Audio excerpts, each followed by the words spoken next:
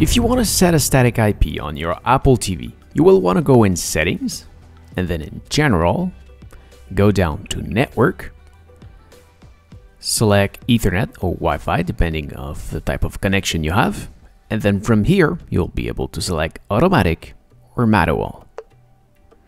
So then set the IP address that you want, set your subnet mask,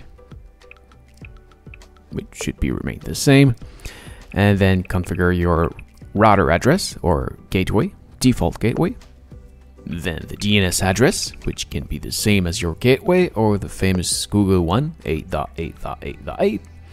And yeah, well, finally, in my case, I will set it back to automatic because I have reserved the address in my router.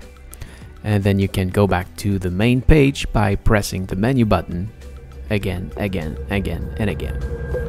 So this is it. Thank you for watching. I hope it helps. If yes, please make a thumbs up. If you have any question, please ask in the comment below. I may simply answer you or even maybe make a video just for you. So don't forget to subscribe and what you do see back there is from my main channel. So please come take a look at this right there. Thank you for watching again. See ya!